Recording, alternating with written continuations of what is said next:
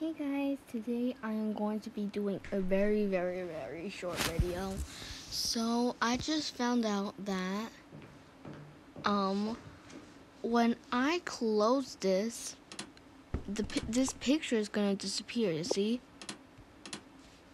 When I open this, it's gonna appear, but when I close this box, it's just gonna disappear. So if you know what this glitch, then uh, give this video a like. Thanks. Bye.